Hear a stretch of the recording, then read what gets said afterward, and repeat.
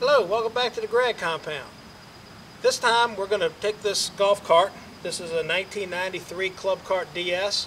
We're going to turn this thing into a hunting cart. What I'm going to do is I'm going to make this a multi-part project and we're going to go through it one phase at a time. We're going to lift it. We're going to put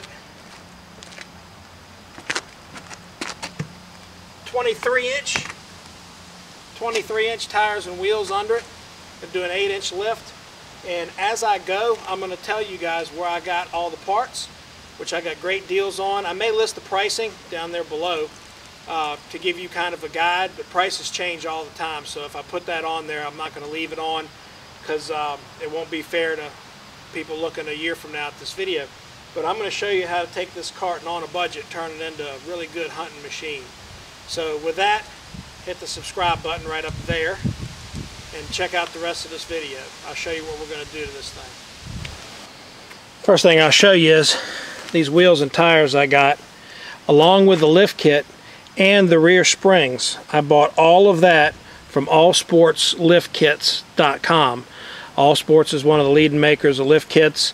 There's several others out there. Jake's makes a great lift. Uh, I decided to go with a double A-arm for the ride and for uh, a little bit better suspension on everything and the deal they gave me on the package was second to none. It was hundreds less than I was looking at, even from the best deal. So that's why I went with them. And you're dealing with the manufacturer of the lift kit. There's the main part of the A-arm lift. That'll be part of tonight's project to get all that mounted. The cart itself, I want to let you guys know, I got in Mechanicsville, Virginia from Nationwide Golf Car Inc. There's their phone number.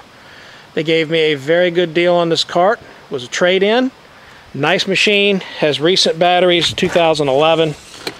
Car's in great shape and exactly what I was looking for. And it actually came with this back seat. This is an old style non-flip back seat, so it won't be too much good for cargo unless I build something there. But adding a couple gun racks and uh, maybe a, a, rear bumper hitch carrier, something like that to it, would be good for carrying deer on. Had a mirror on it already and had the light kit. Now something I want to tell you guys about these light kits, pretty much always they're going to come wired up to a single battery. And quite honestly, that sucks. See there's the wiring right here. There's your hot wire, here's your neutral wire for the light kit. Now they were both wired to this single battery and that's a problem because that's only 8 volts on a 12 volt light kit. So what I've done is wired it in series to the other battery as well now I'm running 16 volts. So yeah, they're a little overpowered. They are very bright. It's actually a great way to do it. I know some friends of mine that have done it that way and so far they haven't burned their bulbs out, but that is a possibility. Um, I plan on getting a voltage reducer for this thing and adding some more lights and hooking them up properly, but for now, that's kind of my starting point.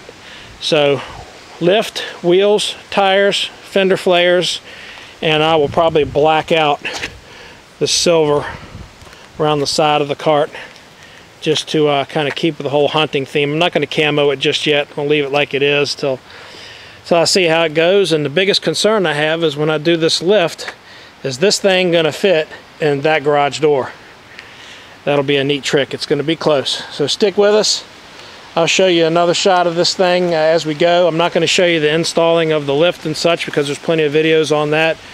All Sports website has a couple on there you can check out and we'll get back to you here in just a bit. Here's the finished product here. Show you guys this. Lift turned out really nice. Wheels and tires turned out really nice. That 8 inches of lift gives it a tremendous ground clearance. Got a little toe adjustment to do. Now, I will tell you this about this lift. It rides a lot rougher than I thought it would.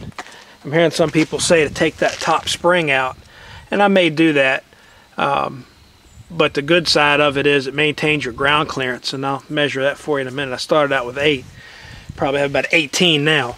One thing that you will want to be aware of when you lift the cart like this, 8-inch lift, is those are your brake cables. They're not long enough. So I have new brake cables on order to get the ground clearance back up on that. There's the dog enjoying this beautiful fall day. So I wanted to show you that. I've put a gun rack on there for obvious reasons. And uh, wheels and tires, very happy with that.